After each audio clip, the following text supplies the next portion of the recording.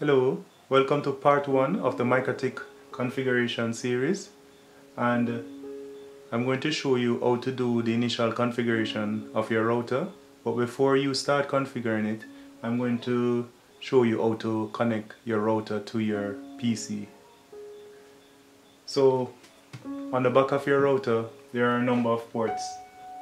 You will be connecting your Ethernet cable into port either port 2 to 5 to do the initial configuration. The reason why we are not going to use port 1 is that port 1 um, by default is not allowed to configure the router because it's blocked because of firewall. So there's a firewall setting that is in the router that is uh, that would prevent the router from being configured through port 1. So what you need to do is to plug your Ethernet cable into either port 2, 3, 4 or 5 and the other end of your cable you'll be plugging that into your PC or your laptop and you'll be connecting your power cable into the power jack and power up your router. So next I'm going to show you how to do the initial configuration of your router. So the first thing that you need to do is to open your browser and go to mikrotik.com slash download and we are going to download Winbox. So Winbox is a tool that is used to configure your MikroTik router. So it gives you a graphical user interface for easy configuration. So you're going to download Winbox. So whatever version is there, just download it and save it into a location um, where you'll be able to access it easily. So by just clicking on the link, it will ask you to download the file. Um, just choose a location to save the file and uh, press OK. But I've already downloaded the file, so I'm going to open it and show you um, what you do, need to do next. So you're going to open Winbox and uh, click on the, the neighbors tab and then click refresh. When you click refresh, what it does is that it search the network for your MikroTik router. So at this time, your MikroTik, your router should be connected um, directly to your PC. I remember you should be using port 2, any port between um, from 2 to 5. Those are the port that you should be using just to do the initial configuration. Uh, the next thing is that you're going to click on the MAC address. So you're going to click on this um, area where the MAC address. You're not going to click on the IP address because this more likely will change during the configuration. So you're going to click on the MAC address and uh, the user ID is admin and initially there is no password. So you're going to click connect. So because the, it is the first time you're configuring your router, it's going to ask if you want to use the default configuration. Um, but in we're not going to use that. We're going to configure our own. So we're going to click remove configuration. Let me just open this window a bit wider. Alright, so we're going to use the quick set feature to do some of the initial configuration. It's going to um, advise you that um, you could lose um, connectivity.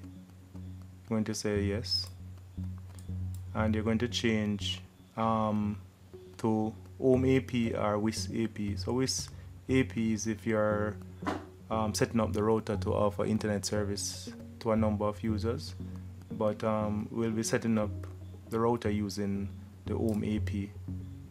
And again, it's going to prompt you, letting you know that you may lose connection.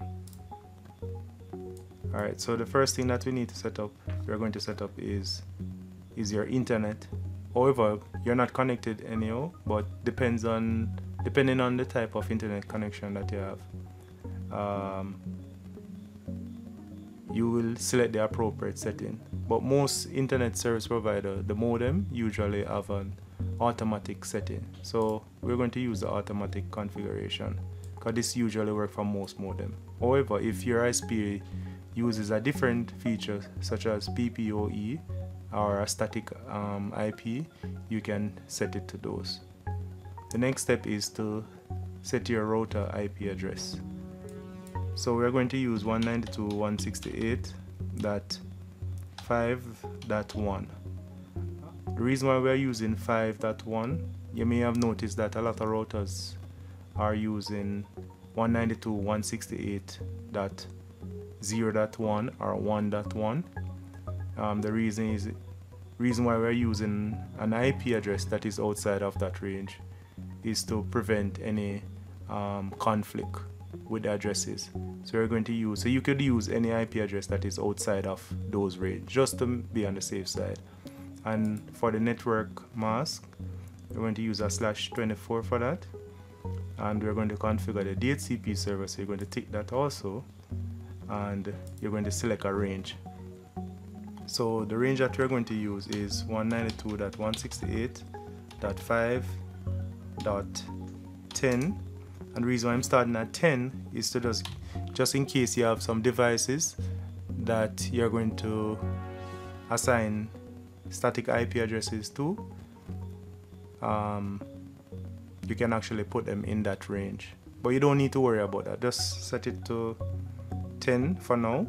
And the ending IP address range would be 192.168.5. say 254 and then you're going to enable NAT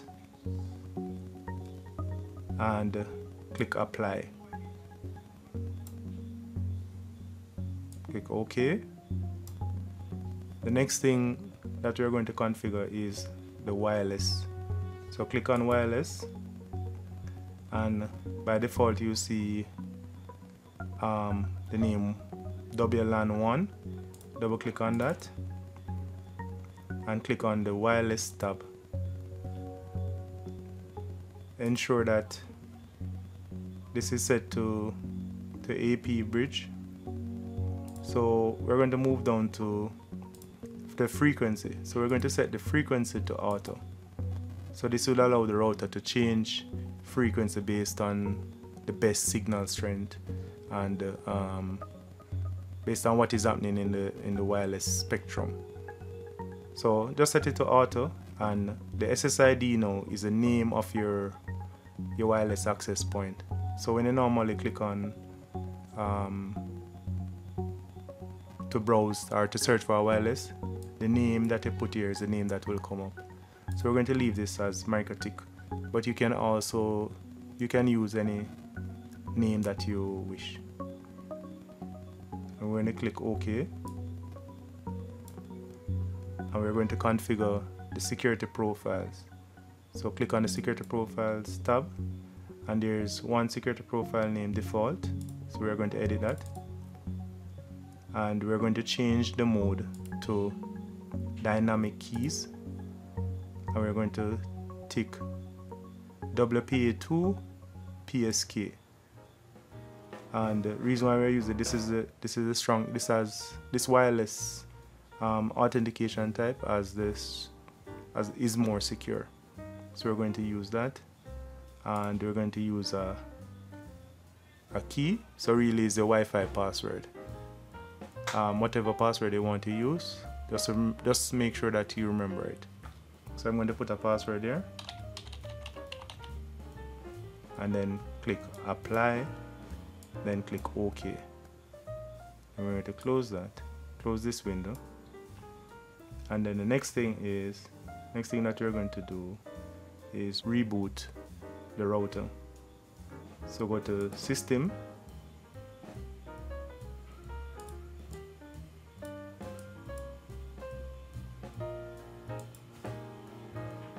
system reboot. And it's going to ask you do you want to reboot your router? You're going to click yes. So your router will now be rebooting. How do you know that your router start is started completely is? By looking at it you'll see the Wi-Fi light flashing and you'll also see um, the port that your Ethernet cable is plugged into you see that port um, lit you can go ahead now and plug your the cable from your modem into port 1 and now you'll be able to browse your internet through your MikroTik router. So that's it for the first tutorial on how to get started with MikroTik. Uh, so stay tuned for another tutorial in, in this series. So thanks for watching.